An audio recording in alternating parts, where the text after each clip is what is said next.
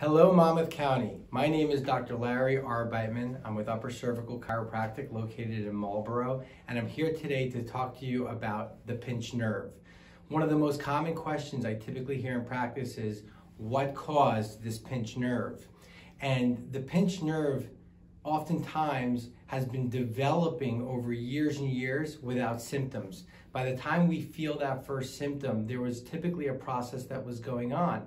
And that process can go all the way back to your childhood or your, or your teenage years or your college years. See, this is the process.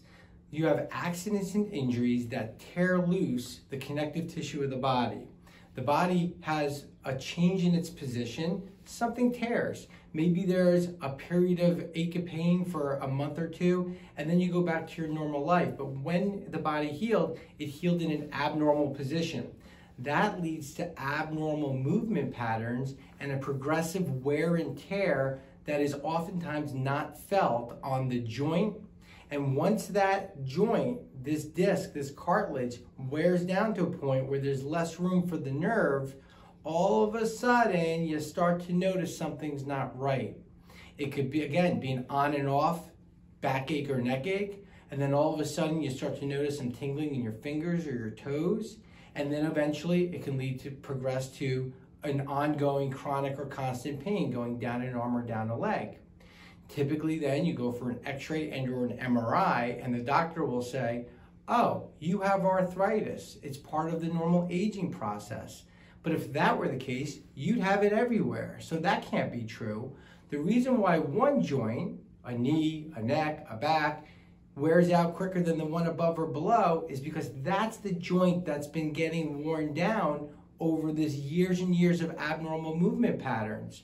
So everybody's focused on treating the pain and the nerve, but what we really need to do is go all the way back to the beginning, to that initial trauma that led to the abnormal movement and the wear and tear.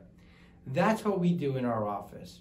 We do a very thorough consultation, examination, and necessary x-rays to better understand your body mechanics, the traumas that it may have had, the breakdown to the spine that may have left to the wear and tear, to the pinched nerve, and then eventually to the pain.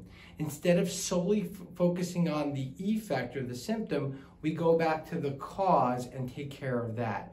That's what makes our work so unique out there in spinal care. So if you've been everywhere and you've tried everything, think about getting a biomechanical analysis and getting the car rebalanced instead of just replacing the tires all the time. If you want more information, click below and we look forward to meeting with you.